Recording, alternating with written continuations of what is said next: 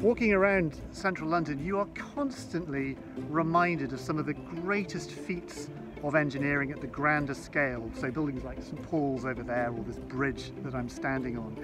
But if you want to get involved in engineering, if you want to really understand the, the principles of what makes good engineering, you don't even have to leave your home.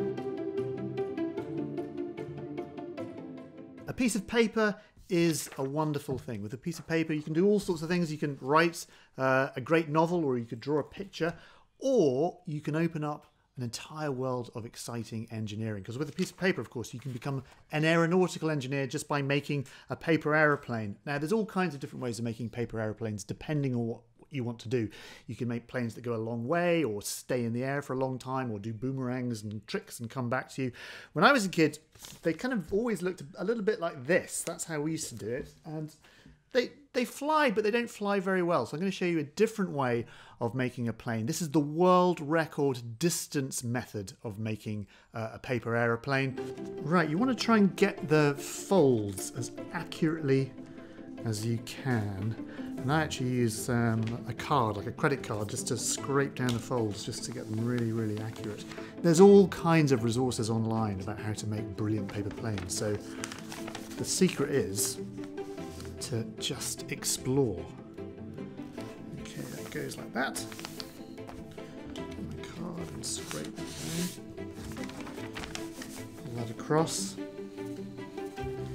Now I want to make a fold up this way.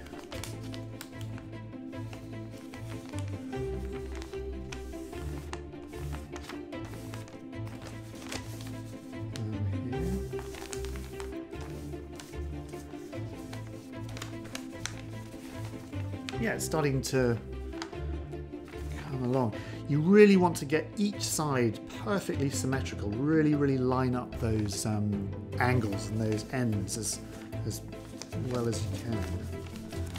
That gets folded over like that. Right, there we go. The secret is to have the angle of the wings a bit like that. We call that a dihedral angle. So rather than having the wings down like that, as you might do for a sort of paper dart, you actually want them up like that. And that gives the whole aircraft a lot more stability. And then it's really that kind of balance of lift and speed. So what we can do is we can give it some little elevators at the back just by turning the ends up.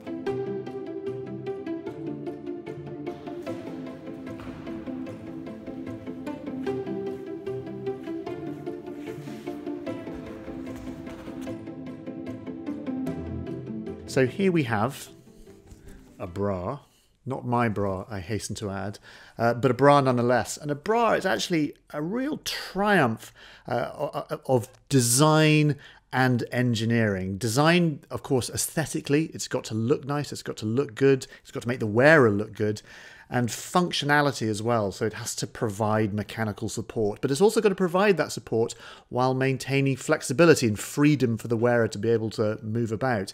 And it does that uh, largely due to the materials used, a whole group of modern materials from the last century. So things like polyester, spandex, uh, this elastic here, the foam that's in the padding here. It's a brilliant example, and that underwire, a brilliant example of how materials and design and engineering can all fit together to make a, the, a perfect bit of clothing like that. But there's an interesting story about the history of bra design, which I really love. Playtex, which is a company that made bras and girdles back in the 1960s, because of their expertise with engineering and materials, were taken on by NASA to manufacture and engineer possibly the most iconic bit of clothing of all time. It's that bit of clothing behind me, the spacesuits that let human beings explore another world were made by Playtex. Uh, and the skill of the women whose job it was to sew bras and girdles and, and structured underwear went on to make those.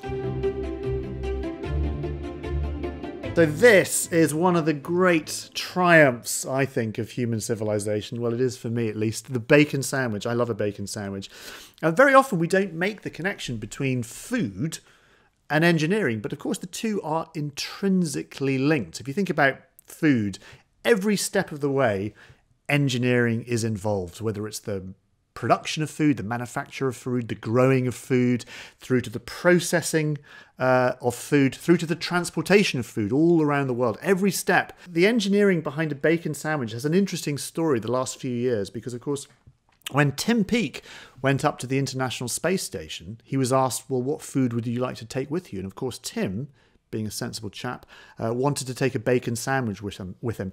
And so they had to engineer a sandwich that would withstand space flight. And one of the things they had to come up with was the bread itself. Because, of course, bread makes crumbs. Normally, crumbs uh, fall to the floor when you're eating something or fall in your bed if you're eating your sandwich in bed, which can be really nasty and, and uncomfortable.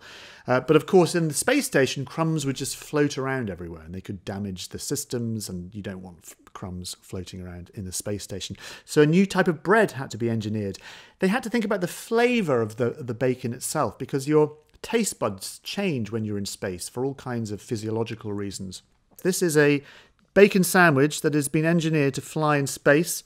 And there it is. You can see Heston's name, Heston Blumenthal, very famous chef. All kinds of engineering processes that had to go into making of this, uh, not least the can itself, which is an aluminium and plastic can designed to be very light and to also keep the bacon sandwich inside sterile. So that is a an engineered space bacon sarnie which I would eat, but unfortunately, I've just noticed that the date is past its sell by date, 2017. So I'll just have to eat this one. It's a job that anybody who's curious about the world or has an inquisitive mind can get involved in. So, if that is you, STEM Learning have put together some fantastic activities for you to explore engineering, science, maths, computing. So, go over to the STEM Learning website.